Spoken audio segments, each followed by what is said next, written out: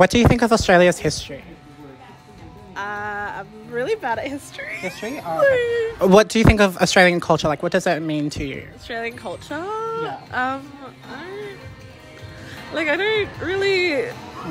Do you think it's British at all?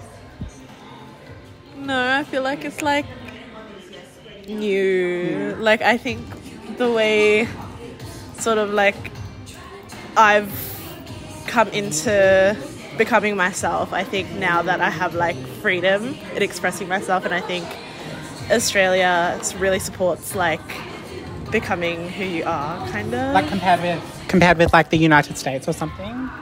Yeah, Yeah. sort of like I mean, right now going on in the United States is like a lot of anti-LGBT and like Anti- yeah, and, like a lot of like hate and there's just too many crazy things going on, and I just feel like I mean it could be hidden Yeah. in Australia, but like I You don't really see it in legislation, I guess, here. yeah no not really. So do you um so you're very pro LGBT. Are you sorry, are you together? We're not together. Sorry. Sorry. Both doing piercings, so I thought maybe yeah. yeah. yeah. Um uh just like do you think Australian culture is very like Anglo Celtic centered around like, you know, UK or I honestly don't know much about that. what's what's your heritage?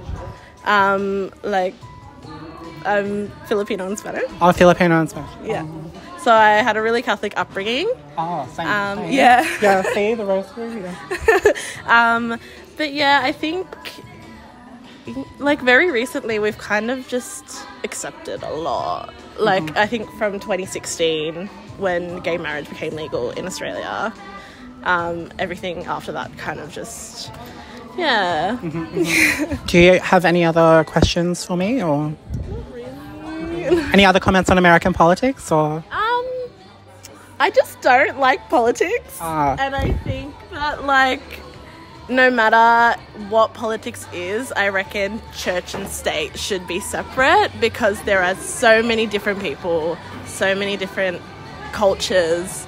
Um, yeah, and like you can't just support the one. Like you can't just stick to Catholicism as a state. Yeah. so I guess you don't support the Roe v. Wade decision?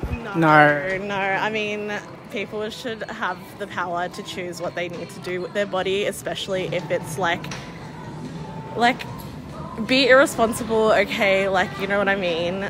But if you're going to be ir- irresponsible, you have to deal with the consequences, but at least have that option for people that cannot support a child. Like, you financially can't support a child. What are you going to do?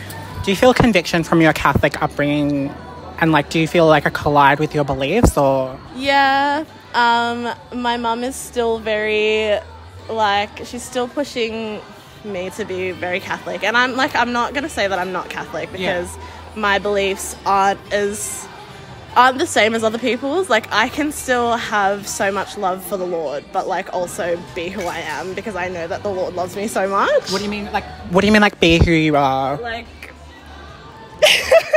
Like LG- LGBT feminism or like everything. I think I just, the whole, Cause because I'm LGBT too. Yeah. But like, it's very hard for, for me, like coming to Catholic faith and you know seeing what it says, and it's really hard to get around that Yeah. and navigate it. So I think like Catholicism is just very old in their everything, mm. and new ideas coming to the church is just very hard for them to I like to work around. And I just think that like if you're a good person, God knows you're a good person.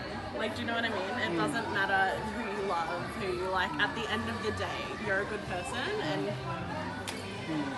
we're all redeemed by Jesus. He's the only one who's truly good for, for all of us. gays for Jesus.